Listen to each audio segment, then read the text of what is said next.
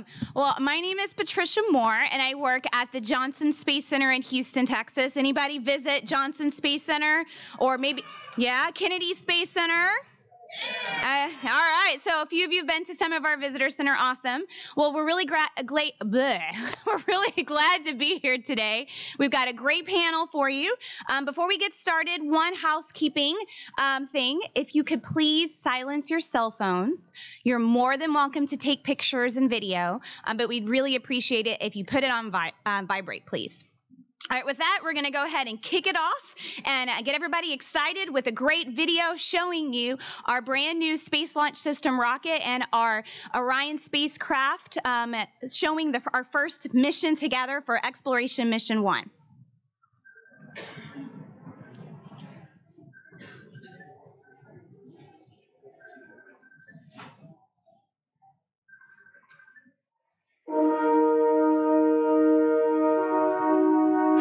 Space Center in Florida at T minus three hours and holding. And we're now in the final five hours of the countdown.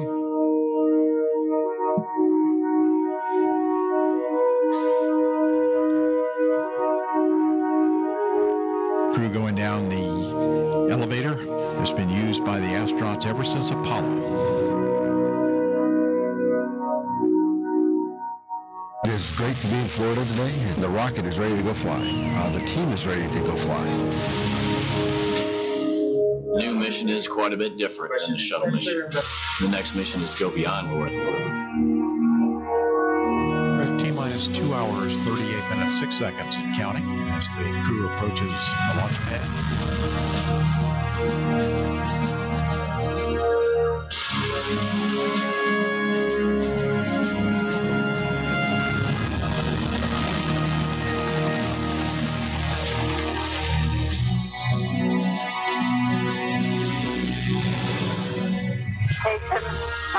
For expanded knowledge of the universe, but for the improvements you have contributed to on Earth. Have an excellent mission and Godspeed. Crew ingress and work at this time. Ready for that.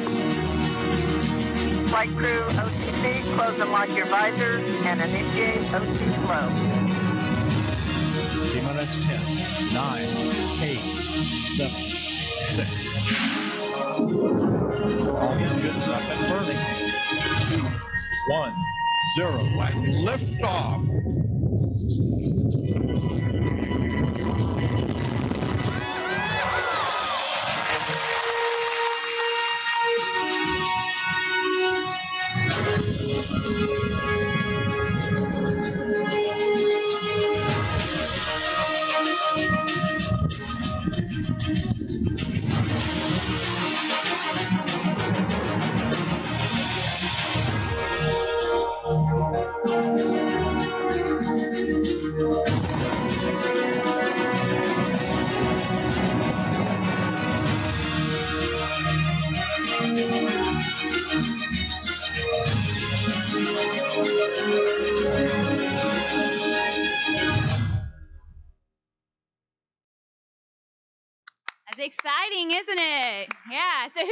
Excited?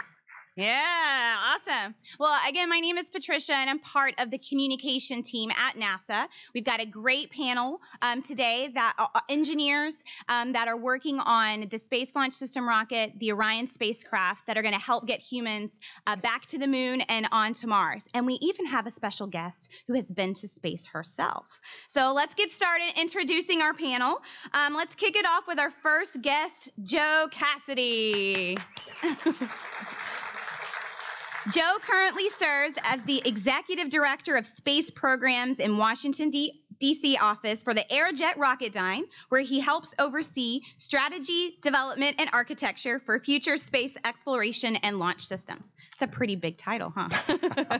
but he's best known around D.C. as Mr. Mars, and if you don't believe me, you can take a look at his license plate. so uh, please join in welcoming Aerojet Rocketdyne's very own Mr. Mars. Our next guest is Howard Hu. Come on, Howard. Howard is the avionics, power, and software manager for the Orion spacecraft, which means he's responsible for Orion's power. and all the computers that control the spacecraft. When Howard is not busy perfecting computer and power systems on board Orion, he enjoys salsa dancing. Anybody like salsa dancing? Yeah, you? and he also acts as his family's Uber driver. Yeah. All right, our next expert is Orion's very own parachute man, Jared Daum. Jared is a parachute engineer for Orion, and he makes sure the Orion spacecraft and astronauts splash down safely in the ocean. And in Jared's free time, he likes traveling, photography, and playing sports. Yep. Thanks for joining us, Jared. Thank you. All right. And our fourth and final guest is astronaut Peggy Whitson.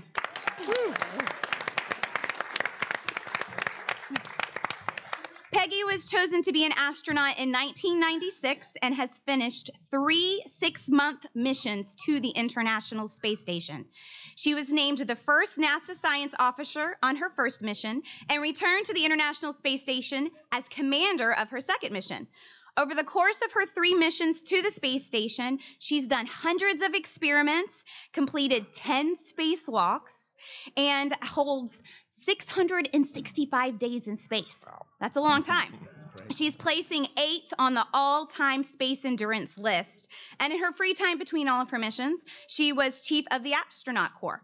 So, and, and then when she has lots of extra time, she likes gardening and doing um, fun things at her house. all right, so please welcome and joining our panel.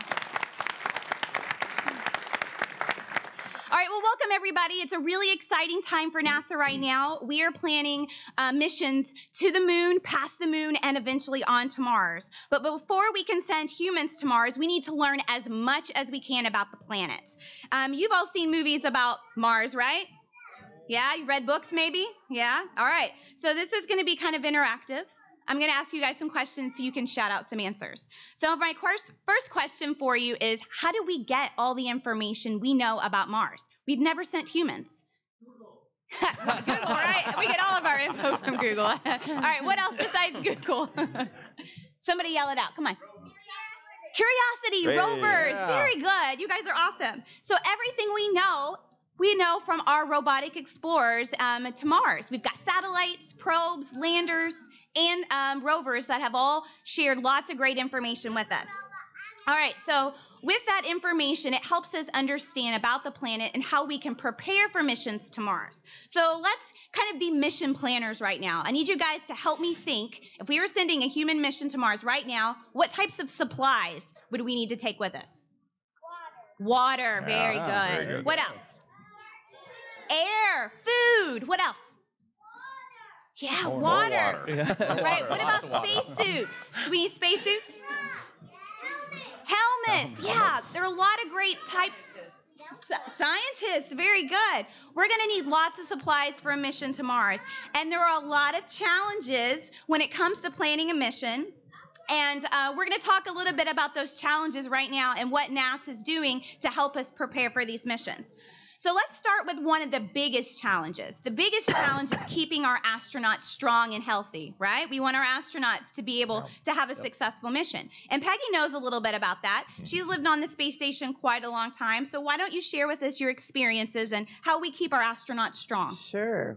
Well, exercise is extremely important for us. And if you think about it, when you don't have gravity pulling down on your body, it becomes really important because your muscles forget how to work and so they, they atrophy, they shrink, and your bone, even your bone will actually atrophy in a way. It's called de- demineralization. And it's like if your grandmother had maybe osteoporosis, she would lose 1% of her bone density in a year. And, as an astronaut, we would lose uh, 1% of our bone density in a month. So we have to do a lot of exercise to try and counteract that. And this exercise device behind us, shown in the video, is the advanced resistive exercise device. It's basically like weightlifting, but because you're in space, it does the weights don't weigh anything, so you have to work against resistance. Uh, it's a really great piece of hardware. It's very flexible and adaptable, can do lots of different exercises. And it's got the isolation system to protect the experiments. So it, it moves instead of uh, inducing the vibrations into the structure. We also have a treadmill with a harness that holds us down to the treadmill and makes us feel like we're back on Earth. And you have to work against the force of that harness. Uh, and we have a bicycle ergometer. So two and a half hours of exercise a day uh, in order to, to really get keep from losing that bone and muscle. Well, I bet all of that exercise makes Peggy really hungry, huh? Oh my gosh, yes. Can So- you imagine? so why don't you tell us a little bit about the types of food that you eat in space? We've got prepackaged food for the most part. We do get some fresh food occasionally on some of the cargo vehicles that come up, like fresh oranges or tomatoes. Uh, but most of it's prepackaged and has to have a long shelf life because it we have to send it up maybe a year in advance uh, on board the space station. We have uh, some fun things that we do. I made up some Jello for Christmas, and you can see that uh, eating eating food in space is a little bit different. You can have a lot more fun playing with it. Um, so it, it's pretty neat to be able to, to lear- learn how to work and live in uh, microgravity. We do have the, a few items of fresh food. We were, we're trying out new growth systems for onboard the space station, so I was able to grow some uh, cabbage and lettuce on board the space station. Every other harvest was uh, for science, so we'd have to freeze it back, but the ones in between, we would get to eat it, and it was really good because everything else comes in these packages. Yeah, so you mentioned you get food, so we have send resupply ships to the space station often, which makes it easier for the astronauts to get supplies. But when we go to the moon and onto Mars, it's going to be a little bit harder. So how are we going to pack, or what types of foods would we have for long, deep space missions? Well, for those missions, they're going to have to be really shelf stable for long periods of time, and it might not be very interesting food. I don't know. but we've got this incredible team at the food laboratory at the Johnson Space Center that's working on coming up with new ideas where it's going to be food with high high caloric intake, which means it's got lots of energy and you don't have to, it doesn't take up as much space or mass. So that's going to be important to us uh, for the future. Awesome. Well, we have uh, some folks in the food lab who put together a really great video for you to kind of show you some of the work that they're doing with new types of foods to use when we go to the moon and Mars. So let's take a look. Hi, my name is Jessica Voss, and I'm an engineer here at Johnson Space Center for the Orion vehicle. And my name is Takiyah Sirmons. I'm a food scientist here in the Space Food Systems Laboratory. We're here today because Orion's Exploration Mission 2 mission has us going around the moon without being attached to any sort of habitation module. So, in order to complete that mission, we need to pack all the food that we need for four crew for like 10 to 14 days. So that's quite a bit of mass and volume that we're talking about. So I've tasked the Space Food Systems Laboratory to help me out with this. And so these are just a few of the meal replacement bars that we have scheduled to go on the Orion vehicle. We have the banana nut bar, orange cranberry bar, ginger vanilla bar, and barbecue nut bar, each totaling about 700 to 800 calories. So it's a, a huge meal replacement, and Jessica is going to taste those here with us today. So we have some human studies going on that'll tell us whether or not people could eat bars every day, or if they need to eat them every five days, or every seven days, or they don't like bars at all. So. All right. Well, I'm excited to see how that study turns out. And in the meantime, Does that look yummy? yeah. Would you want to eat it every day? yeah. Three times a day? That's why it's called supplements. Yeah. This one, this one looks like spam. Is it like a peanut butter version? Yeah. All right. So um, since we're all now space food experts, right? Yeah. All right. We're gonna play a little game called "What's for Lunch." Anybody hungry? Yeah. All right. It's noon. I mean, somebody should be hungry. All right. So what we're gonna do is we're gonna take maybe let's see, one, two, three, four volunteers, four of our little volunteers to come on up, and we're gonna p- play a little food game. Okay. So when you come up, come down that end where the stairs are, so you can come up stage. All right. So why don't you pick two people from the back, and I'll pick two from the front. All right. We're gonna go with this young lady right here and this young man. There we go. Come on. How are you doing today? Come on this way. Good. All right. Right here. Perfect. Hello there. All right. Kinda- Oh, yeah, that's the don't- hard one. Here, don't don't peek at it like that. Like you can hold it like this, but don't look at the writing because that's cheating. Here's one. Don't turn it over. It's got writing on the other side. Just without looking. Just look at this and see what you might guess that is. You think so? All right. So uh, what they're going to do is Does they're going to take good? a look at their food and they're going to try to guess what it is and then we're going to flip it over and Peggy's going to help them tell everybody what type of food they have in their hands. What do you think this might be? If you added water to that, what would that be? It's pretty bland looking, isn't it? I think so too. Mm-hmm. Let's read it. It says it's cream of mushroom soup. Okay. All right, yours looks pretty similar to hers. What do you think it is? What do you think it might be? The same thing. No, it's not the same thing. Here, let's look on this side because it's got. What do you think that is? Oh. Looks like a raisin. That or dirt, right? It's oatmeal with raisins and spice. That one's actually pretty yummy. what do you think this one is? Uh, banana nut. It's a bar for sure. It happens to be a yogurt covered one, I think. Yeah, yogurt covered granola bar. That's pretty good too. what do you think yours is? Without peeking. What does it feel like? Feels like slime. yeah. yeah, no, well, yogurt's a good idea. We get yogurt in packages just like this. But this one is mixed vegetables. I think it's been I think it's been squished by a few kids over the years. but it's actually good too. This one's good too. All right, well thanks guys. Great job. Okay, good job. Thank you guys for coming up.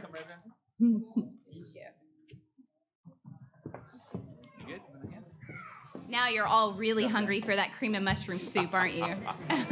and the slime. And the slime. and the slime. awesome. All right, so when you guys have a great family dinner, do you sit in silence? No, you talk, right? So with great food comes good conversations. Our astronauts have great conversations um, on the space station, and they will when they go to Mars. But there's going to be times where they want to connect back to NASA, back to their families, and a communication gets more difficult as we go farther and farther away from Earth. So, um, Howard, why don't you tell us a little bit about how astronauts communicate on the station and what our plans are for Mars? Great. Uh, yeah. So obviously, communication is always a challenge if you get further away. Um, we're planning a mission to Mars, and so we're going to do that in steps. So if you know today, like Peggy was on the International Space Station, it's 250 miles above us. It's a great platform for us to do a lot of testing and understanding of how we live in space. Um, and of course, communication there is very easy. It's, it's instant. Uh, you can call down, and we talk to the astronauts uh, on a daily basis and sometimes on an hourly basis as well. So we have a lot of communication. And certainly, if there's an issue on space station, they need to come home. You know, they can get on the spaceship and then uh, come home about three hours. So they'll, they'll land safely and, and, and be able to come home. Now, when we go a little bit further out, you know, step two, when we go and do a, a lunar type of mission and go out to the moon, it's going to be hundreds of thousands of miles away. And so that communication is going to have a little bit more lag, but certainly a great platform also for us to do a lot of testing and understanding of technologies uh, on that lunar platform. But now the challenge will be coming home. So if there's any issues, it's going to take several days to come home. So certainly you could talk and uh, have that communication quickly, but you're going to have a harder time uh, returning. And then when we're ready to go to Mars, uh, that's going to be our biggest challenge. That's millions of miles away.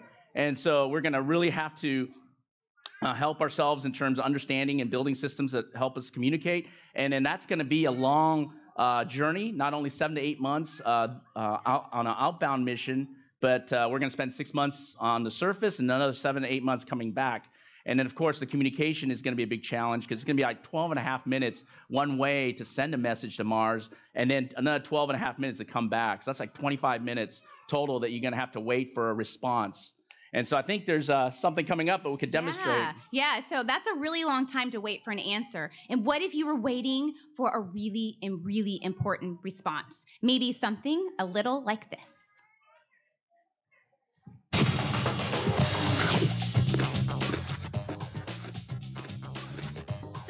Boy on Earth was asking this girl on Mars to go out on a date. Just work with me here a second. First, he asks a question.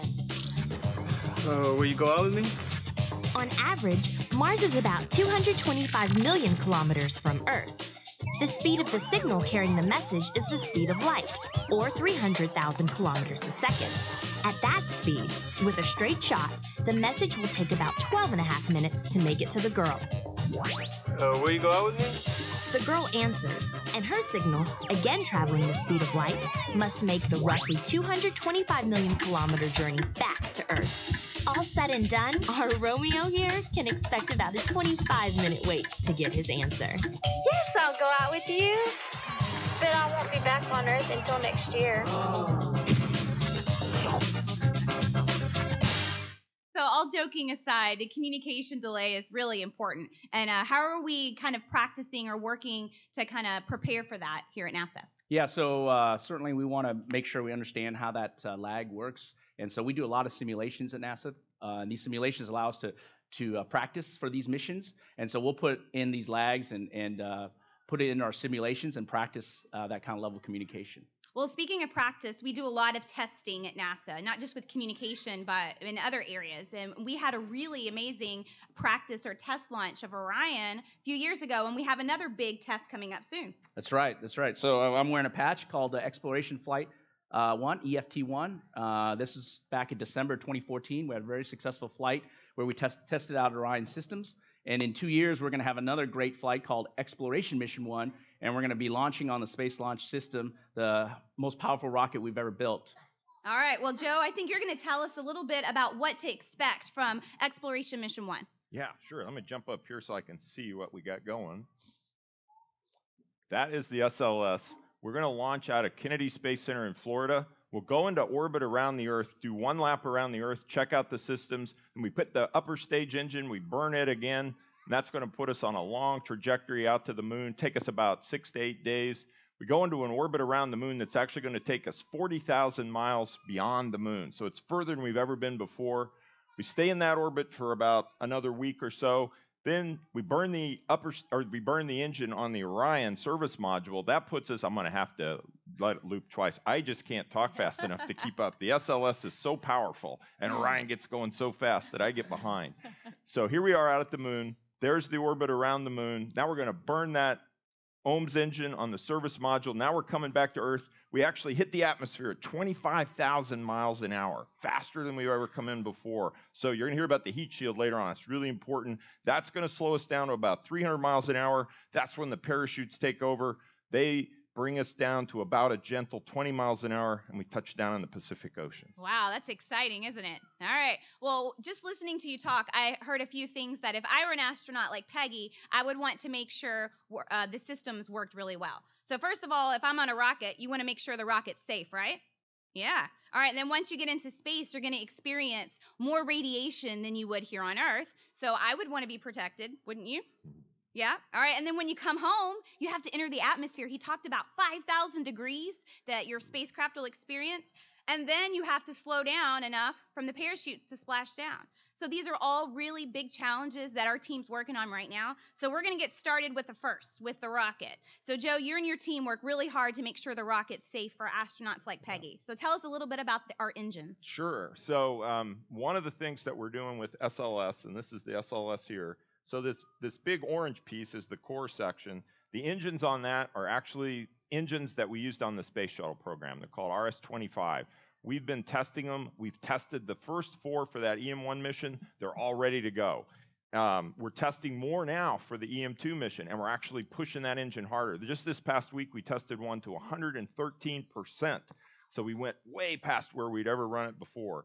The solid rocket boosters on the side here are also from the shuttle program. We added one more segment to get a little more out of them, and those burn right on liftoff and give us a lot more thrust to get off the ground. And then the other part that we're working on is up here on top, the launch abort system. And that's actually really important for the astronauts on launch and on their way up into orbit because at any point in that, if there's a bad problem on the rocket, that will fire and it will pull the capsule away and keep the astronauts and the crew safe. They can just parachute down and land in the ocean. Wow, that's awesome. So, how big is SLS going to be once it's all put together? So that from the bottom to the top, we're in New York, right? So how many of you know? How many have been over the Statue of Liberty? Show of hands. How many people have been to the Statue of Liberty? Okay, so you guys know kind of how tall that is. About 305 feet tall.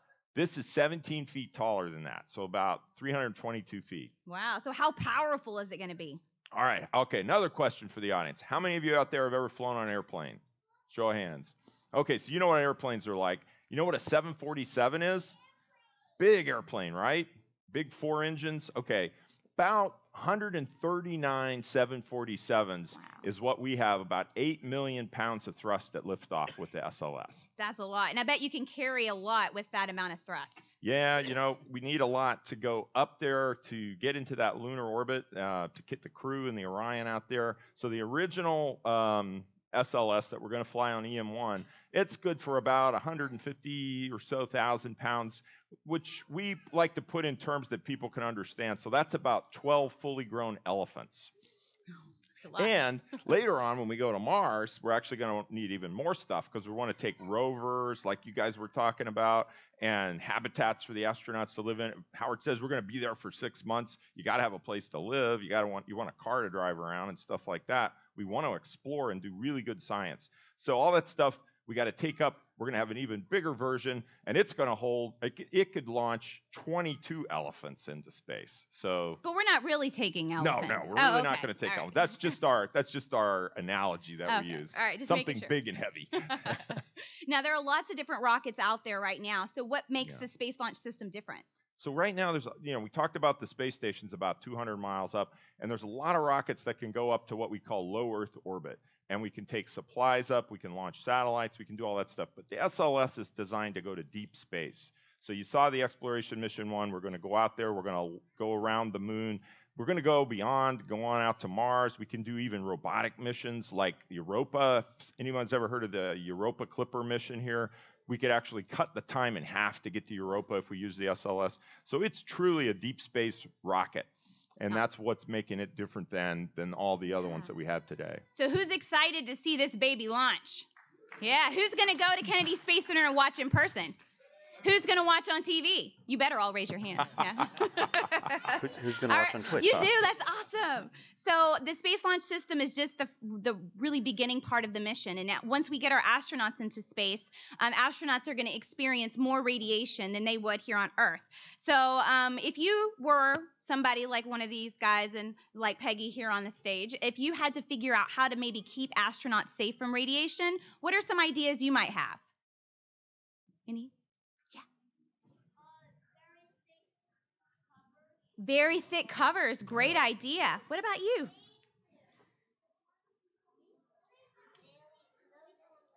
Very strong covers. Yeah, you're going to need something to protect them, right? So Howard, why don't you talk a little bit about, you know, why deep space radiation is is a little bit more challenging than what we would experience here on Earth? Yeah, certainly that's another big challenge for us. You know, radiation is is something that we have to protect astronauts against, and we're always looking at ways to do that and trying to improve that as we uh, uh, go beyond Earth and uh, go to the moon and Mars. Yeah, so we've got great teams at NASA that specialize in how to protect our astronauts, and, and we're going to take a look at a video to see what we're going to do to protect our astronauts from a solar flare while they're on Orion.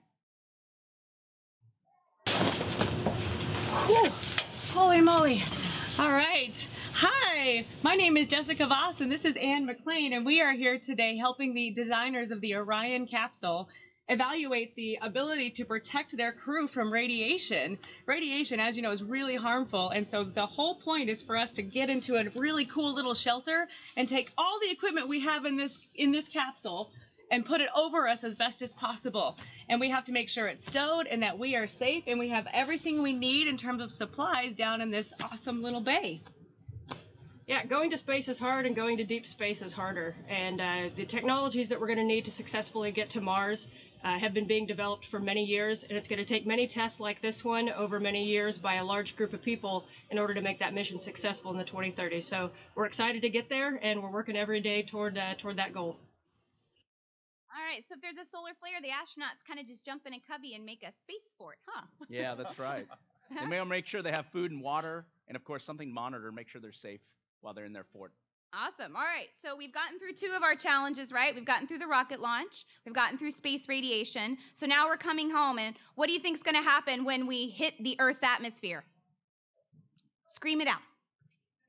Friction. friction. And when you get friction, it gets really hot. hot. That's right. And it's going to get up to about 5,000 degrees. So, Jared, why don't you tell us a little bit about how we're going to protect our astronauts from that 5,000 degree temperature? Sure thing. So, I'll grab a couple um, visual aids here. So, um, you've all ridden in a car before, right? Yeah, so if you're driving down the road at about 30 miles an hour, you can stick your hand out the window and you can feel the, air, the cool air rushing over your hand. Um, it doesn't get too hot because you're only going about 30 miles an hour. But as Joe mentioned, when we come back from the moon or Mars, we're going to be going about 25,000 miles per hour. It's going to be so hot that that friction with air, like like one of these kids just said, the friction is going to heat the um, capsule up to over 5,000 degrees Fahrenheit. So that's really really hot. So we have a couple couple ways we keep our crew nice and safe. Um, so there's two uh, thermal protection systems. Thanks, Howard. Um, on the back shell here, so this kind of slanted part, we have tiles just like Howard's holding. So this is very similar to what we have on the space shuttle, the space shuttle tiles. And they insulate the crew on the inside from these really hot temperatures on the outside. Uh, now on the front of Orion, we call this the heat shield. Um, this is a different type of, of thermal protection system. We call it an ablative thermal protection system. So as Orion's coming in, we're heating up to about 5,000 degrees. Pieces of this heat shield are going to shed away to dissipate some of that energy. Um, so those two systems combined are very important to uh, keep our our astronauts in a nice, comfy, about 70 degrees on the inside, while it's hot as lava, you know, on the outside. Whoa, that's Yeah. pretty hot. So I'll ask you guys the next question. Once we begin to re-enter, what happens after the heat shield does its job? What do, what do, how are we going to slow down the rest of the way? Parachutes. Parachutes. We got a parachute guy right there. So why Yeah. don't you tell us about how the parachutes are going to help us slow down and land safely in the ocean? Sure thing. So, like Pat- Patricia mentioned, I'm a parachute engineer at Johnson Space Center, and I design and develop the 11 parachutes that we have on Orion to bring our astronauts home to Earth from the moon or Mars. Um, so we do have a, a sample chute here. Uh, I think can we get Yeah, some, some we're going to need four volunteers. So if we could do two from the back again, and we'll do two from the front, and try to choose bigger children for this one. Yeah, this this is not a light parachute. You two girls right there on the end. Come on. So, like I mentioned, Orion has 11 parachutes in total, and they have to work together as a team to slow us down um, at about 25,000 feet, at about 350 miles an hour, down to a nice 17 or 20 miles per hour, so that our astronauts splash down nice and safe in the ocean. Yeah, come on over here. So this is identical to one of the 11 that you'll see on the exploration mission one that Joe talked about. So um, when you guys see uh, Orion coming back from the moon next year, you can tell all your friends you touched one of those parachutes that brought him back. So this is one of our mid-sized chutes. We call this a drogue parachute. So this is a very strong parachute. It's about 23 feet in diameter. There you go. Good job. So about 20, 23 feet in diameter. That gives us about 400 square feet of what we call drag area. Um, I mentioned this is a medium-sized parachute. At 400 square feet, this is small compared to our three large main parachutes. Each one of those is 11,000 square feet. So each one of our main parachutes could cover four or five houses. Stretched end to end, they would cover uh, the length of an entire football field. So we're talking some serious area in order to slow down our 20,000 pound Orion spacecraft for a nice 17 mile per hour landing in the ocean. You guys feel that? What does that material feel familiar? Yeah. What what have you felt that feels like that?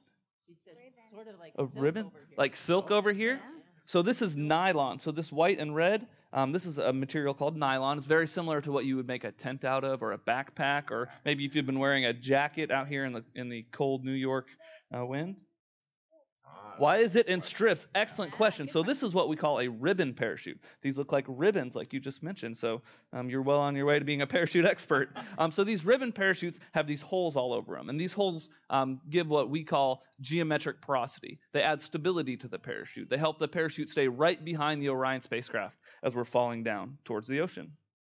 Good job, guys. Great job. Thank, Thank you. One more really interesting fact while they're taking their seats eight of our 11 parachutes are mortar deployed. Um, so this drogue parachute we'll pack into a bag about the size of a large backpack, stuff it into a cannon, and pyrotechnically mortar it out into the airstream, big fireball, um, to allow it to inflate. So that's pretty cool. Yeah. Orion's awesome. packed with cannons on top. That is awesome. All right. So, aren't you glad we have folks like these gentlemen to help astronauts like Peggy get to space and come home safely?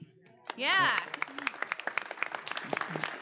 Now, Peggy, why don't you tell us when our first crew will fly on the SLS and Orion?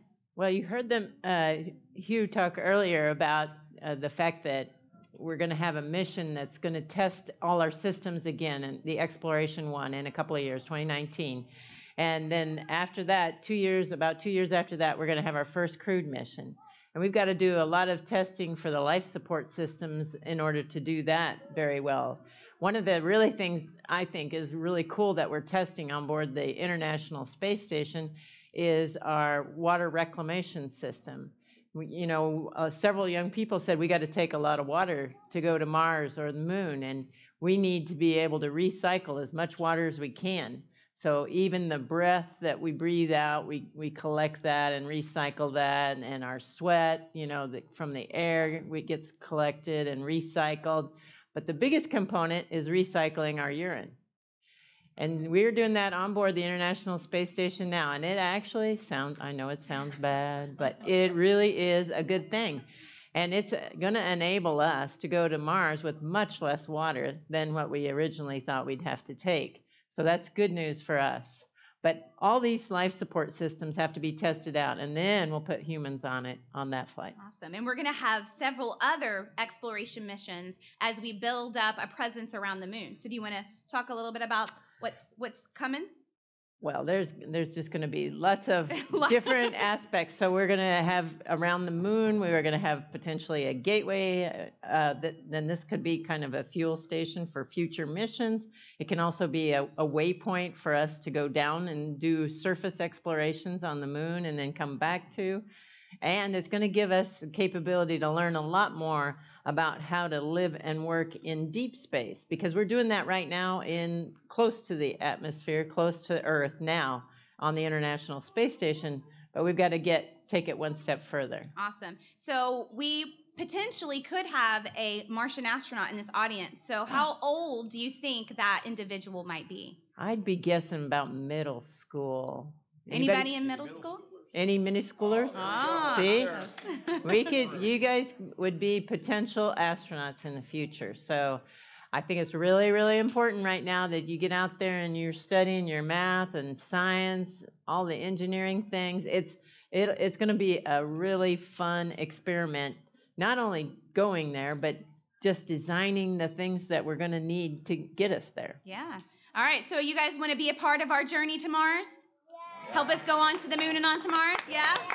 All right. Well, there's going to be a lot of amazing things happening at NASA from now until then. And you can keep up with what's going on by following us on social media, or you can go to nasa.gov. We've got lots of great stories and pictures and videos.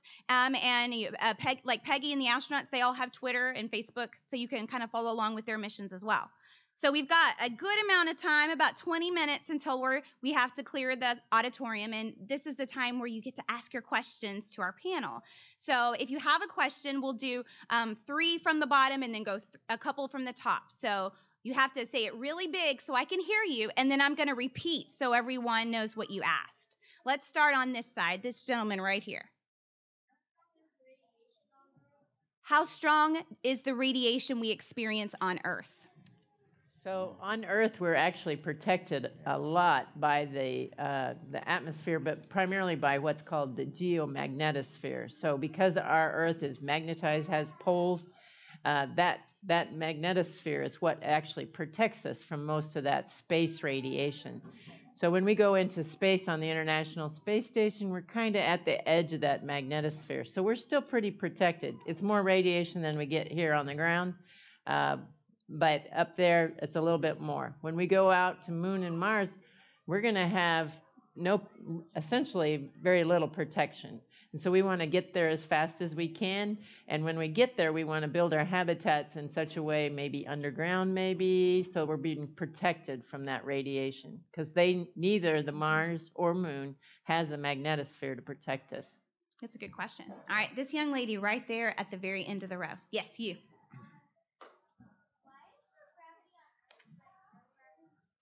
So the question is, why is there gravity on Earth but no gravity in space? Who, who wants that one? Okay. I'll take a shot. Um, there's a couple of things going on. One is when you're on the space station, you're going really fast. You're going 17,500 miles an hour. And essentially, you're just kind of falling around the edge of the earth. You know, if you shoot a cannon, the, the cannonball goes up and then it comes back down. Well, we shoot it faster and faster until we just keep going around and we keep falling, but we never fall back down to earth. So you're kind of essentially in free fall in the space station. Now, when we go way out into space, and we get really far away, if you do your math and you're studying about gravity, you'll see it depends on um, the radius. It's a 1 over r type of thing. So the further out you go, the further away from the body that has the mass, then the lower, lower down that, that gravitational attraction is. It's not as strong. And then that's also true when you go to a place like the moon, which is smaller than the Earth, then the gravity on the moon's only like one sixth of the Earth because it doesn't have as much mass. And when you go to Mars, it's only one third because, again, it doesn't have quite as much mass as the Earth. Good question. All right, this young man right here. What's the trigger to open the parachute? Excellent question. So the parachute system is triggered based on the flight software. So Orion has a very complex guidance, navigation, and control system that monitors the attitude, actually how the vehicle is pointing, the altitude, um, the velocity. Yep. So uh, show me some attitudes. Not your attitude. attitudes of Orion. This is a good attitude. That is a great That's attitude that's for coming in. That's the best in. joke of the show. that was unscripted too. That's Yeah, good. It That's a bad attitude. No. Yeah, bad attitude. So the the Orion flight software system uses RCS reaction control system thrusters all around the vehicle to keep the good end, the heat shield, pointed down. Now, once our guidance and navigation and control system detects that we're at about 25,000 feet, we start firing our mortars to get our parachutes out. Um, we ride our parachutes, for instance, this drogue parachute, we'll ride it down to about 6,000 feet in altitude, at which point the guidance, navigation, and control system will see that we're at 6,000 feet and trigger the release of our drogues and the deployment of our main parachutes. so it's all automated. It is all automated. Yeah, Yep. very awesome. All right, we've got a couple from the back. You have to talk really big so we can hear you.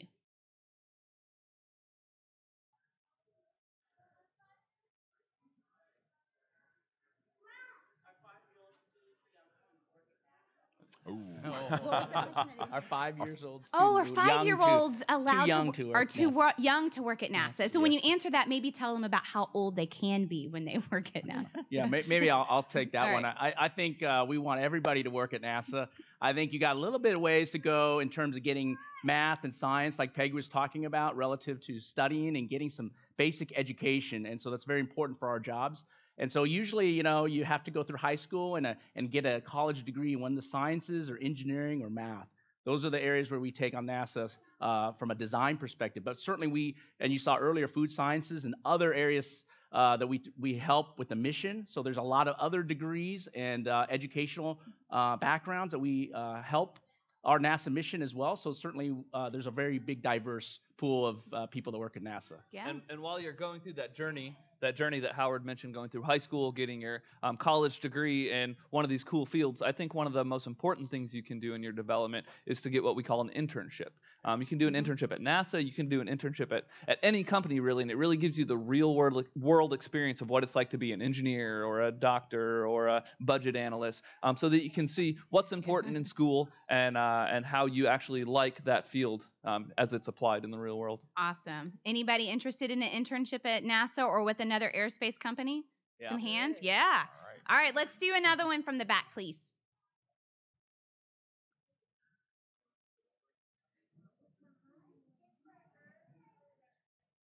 Why is the Oh, go ahead. Why is the earth blue and green? Well, the Earth is actually lots and lots of different colors. But when you see the pictures from high above, you're seeing looking mostly at the ocean, and you'll see lots of the blues of the ocean. The Caribbean is incredible because it's got all different shades of blue green, and it's it's incredibly beautiful, uh, just like it is on Earth. Uh, you can see land masses and they'll have different colors and it'll be based on what what you're looking at if it's mountains you know it can be any range of browns and grays and blacks uh, uh, sands can be red, dirt oh, can, oh, cool. soil can be very red, like Australia looks very red from space. So there's all different colors that you can see from space. Um, and it's just really beautiful, beautiful place that we live on. Incredible spaceship. Awesome. All right, we're going to come back down to the front. Yes, yes, ma'am. So, good question. So, how do we select astronauts um, for crews and for missions? So usually the the chief of the astronaut office, which I did for a little while, uh, gets to pick the astronauts. And what we do for, especially for international missions, is we're trying to pick a crew that's going to work well together, that has all the right skill sets, the robotic skills, the EVA skills, and obviously the most important skill for uh, astronauts is uh, how, playing well with others.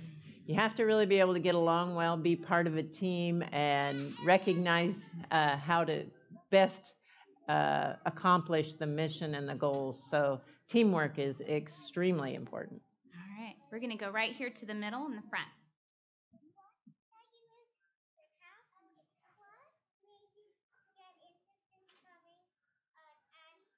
So her question is for Peggy, and Peggy, how did you become interested in becoming an astronaut? Well, when I was nine years old, how old are you? Okay, when I was nine years old, I saw the first astronauts walk on the moon, and I thought, wow, cool job. And uh, when I graduated from high school was the year they picked the first female astronauts, and I thought, that's what I'm going to do. So it, it became a goal instead of a dream. And I, and I did everything I could to pursue that goal. So I, I went and got my, my bachelor's degree, and then I went and got a PhD, and then I started working for NASA. And uh, I, I had to work at NASA for 10 years before I was lucky enough to get selected to be an astronaut. But that's how I, I got to be an astronaut. It was just from when I was a kid and watching somebody that inspired me. Great. All right. This oh, we'll do a, a grown up again. You- Go ahead.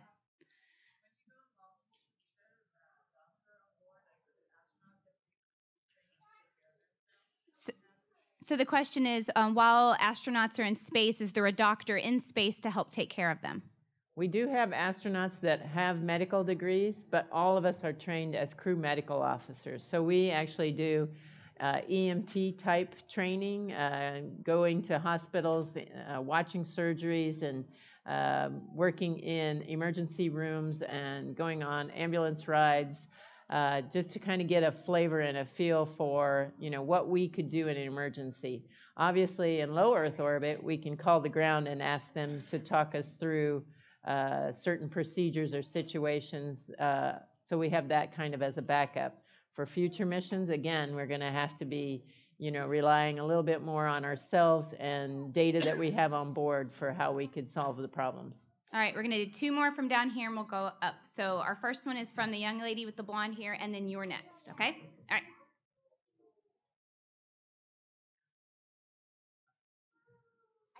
We can't hear you. Can you say it a little louder?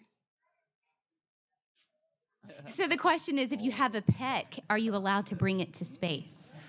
well, we we don't actually take pets to space, but we do take animals up to try and better understand how uh, zero gravity affects uh, not only the animals but uh, us in many cases. So we do research with some animals. We've had earthworms and ants and spiders and mice and fruit flies. So we've had lots of different types of animals there. Um, and it takes some time for them to adapt to zero gravity, just like us. Yeah. Uh, but it's it's interesting to watch that process and better understand what's happening. If you Google, we were talking about Google earlier. If you Google um, butterflies in space or spiders in space, there are videos of them learning how to move around in space, build webs, and so it's pretty cool. So something you can search when you when you leave. All right, go ahead.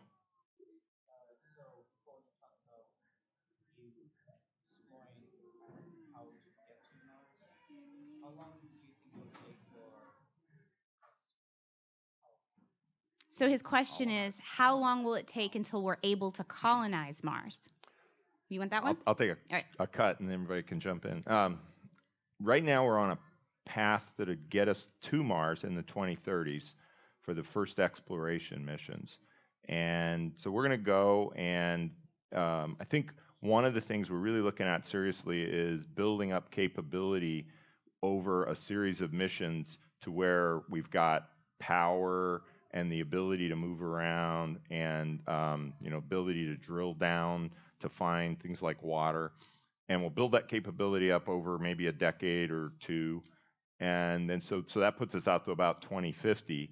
And then beyond that, depending on what we learn, I think then we could start really seriously looking at can we use some of the resources that we find there to help us kind of live off the land? And if that's the case, then you could start thinking about putting more people out there because you're not having to take everything you need with you every time. Yeah, great question. All right, let's do one from the back. Anybody? No, nobody from the back. Okay, then we'll do we'll do you first, and then the young man behind you next. Okay.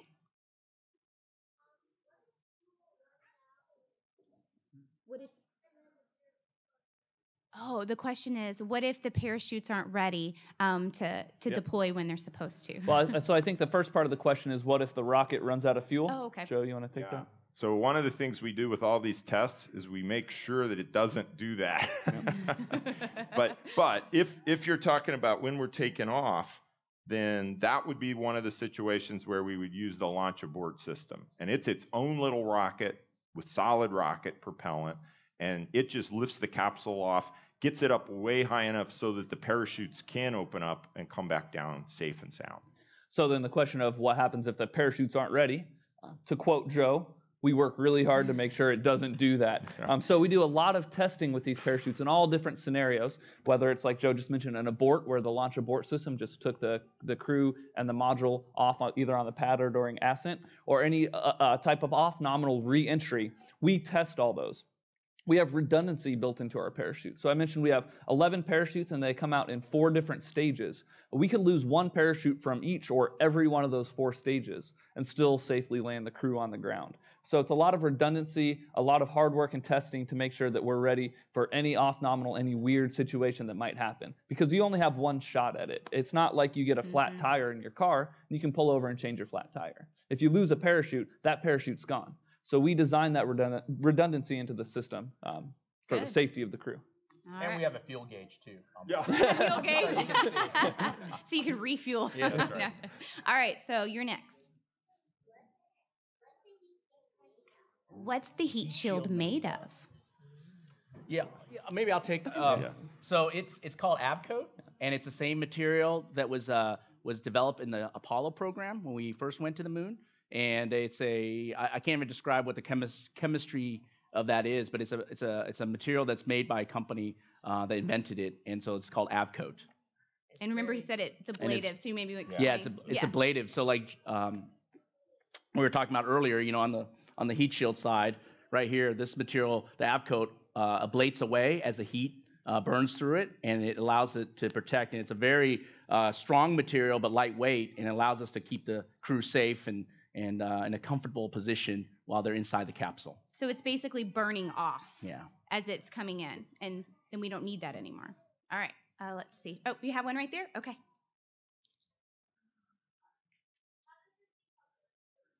How do the decouplers work? I don't know what that is, so I don't. Oh, to, to like stage, to, to when the Okay. staging Oh, goes. okay. Right. There's a couple different ways we do it. One of them involves, um, and this is the one that I think most of the systems use. It's just kind of like a, a band around, and um, there's pyrotechnics again.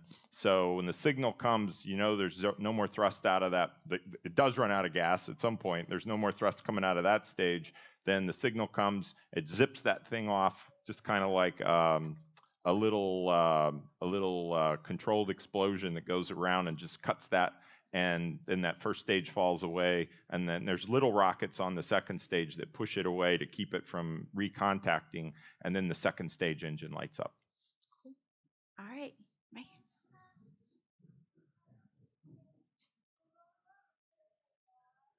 Do do the rovers live in Mars? Is that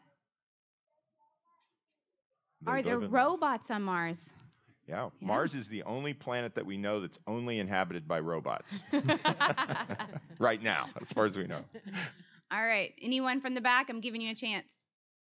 No. All right. So in the blue shirt, yes.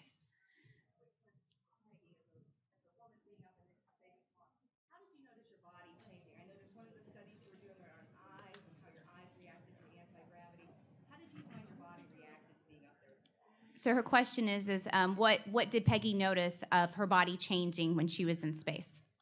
Well, we, we, there are significant changes. When you first get into space, all the fluid goes to your head, and you feel pretty uncomfortable, like you, you know, you're like you're standing on your head on the ground, is what it feels like. And it takes a few days for your body to readjust and redistribute those fluids. Uh, some of it you pee out, and some of it is actually just redistributed. But you actually end up losing 20% of your plasma volume. So it's pretty significant when you come home. That's hard to compensate for, even though one of the first things we do is take plasma or IV fluids uh, to, to try and compensate for that. So there's changes in the eye. I talked about the bone and the muscle uh, changes. Uh, we have unknown effects on maybe the cardiovascular system. You know, we might be more susceptible later in age to those risks. And there's also changes due to radiation uh, that we don't really understand yet. So there's lots of things that are going on. From a just physical perspective, that first feeling is probably the most overwhelming in terms of you know, having a big sensation of your change in your physical body. All right, thanks. We're going to take one from the back.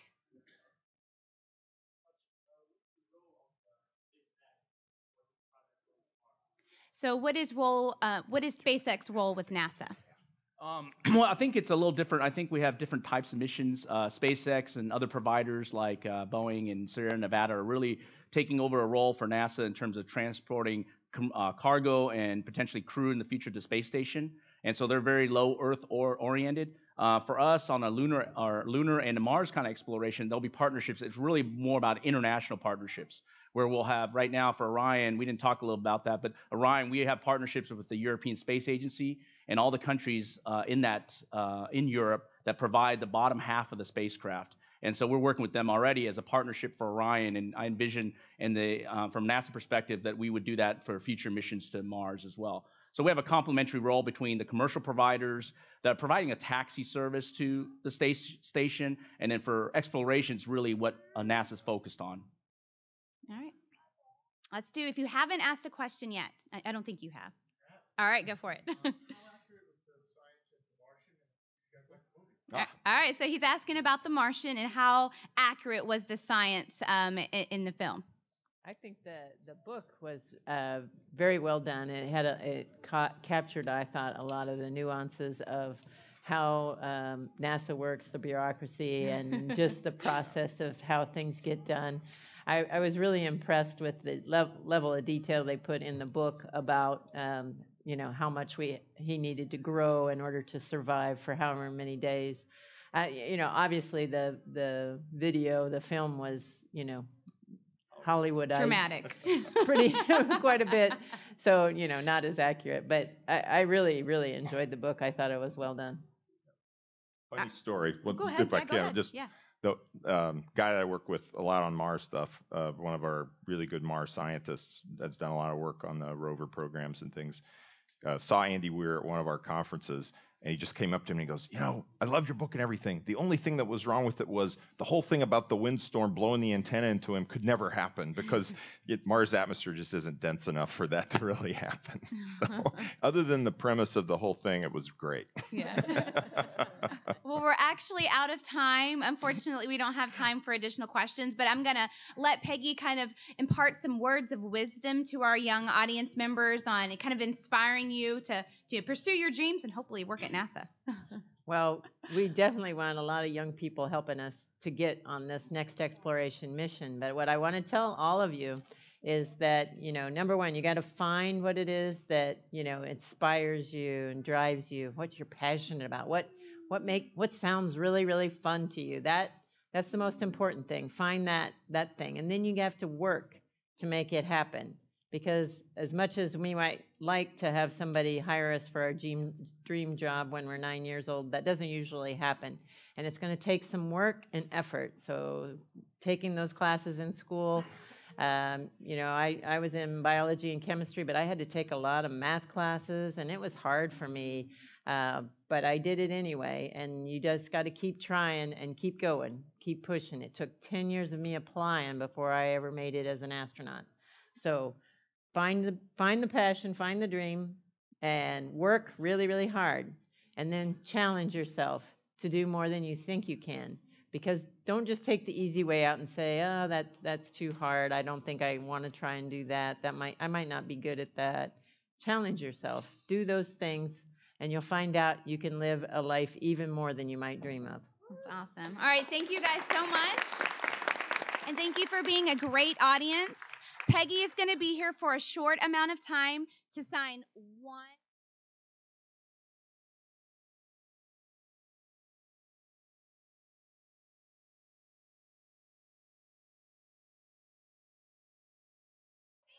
All right, Twitch Cat. How's it going? You may be wondering why we were uh, running the presentation there. It was like, where are the streamers at, huh?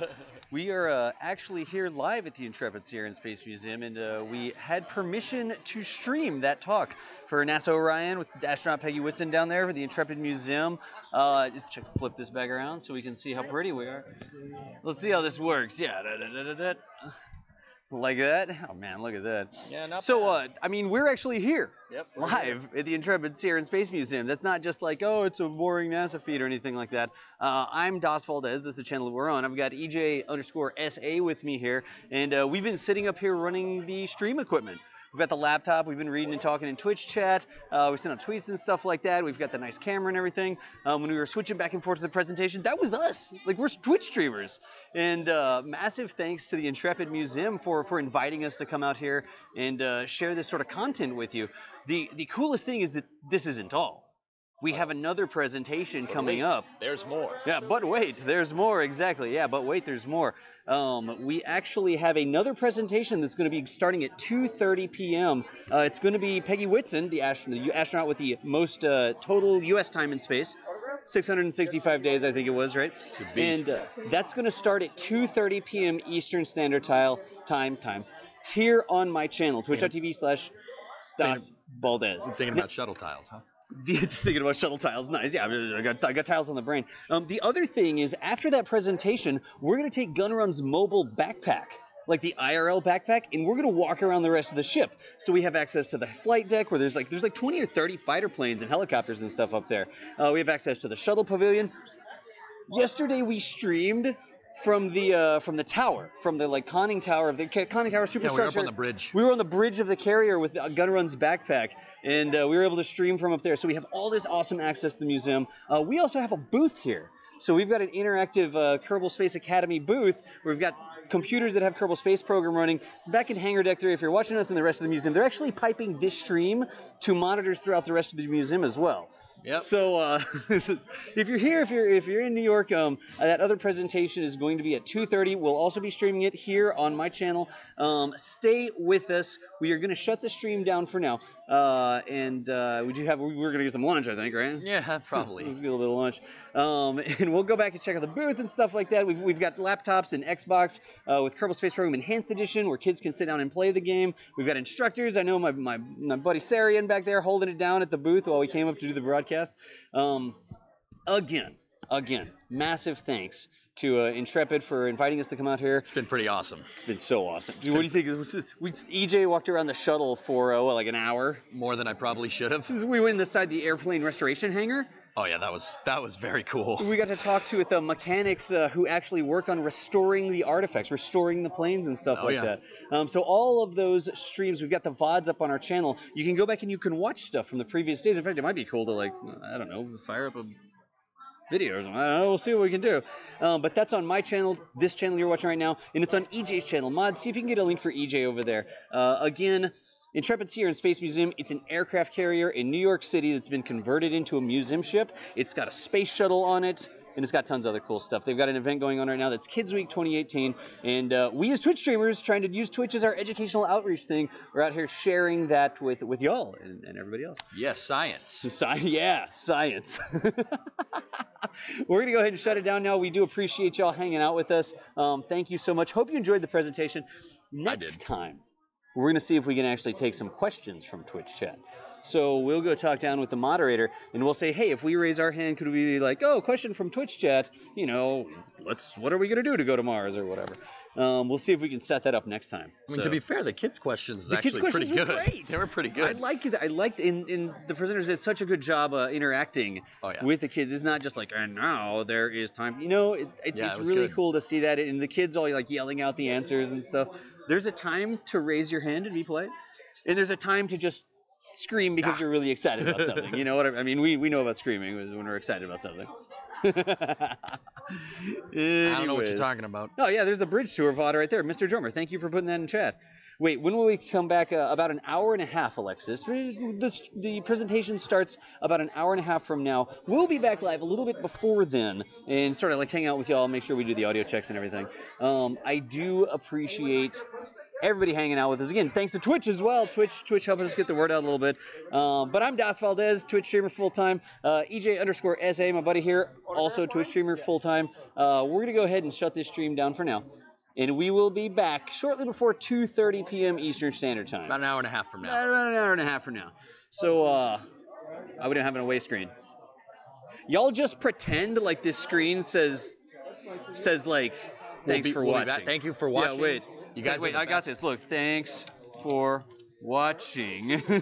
Nice. there. Nice. Yeah, All right, cool. Yeah, is- thanks for watching. It's Yep, not we'll be back, guys. All right, let's put it over We got there. more. That looks good. I like it. Right. MLG Pro Twitch streamers here. Yeah, we're, re- we're really good at what we do. we'll see y'all next time. Later, nerds. See you guys. Thank you.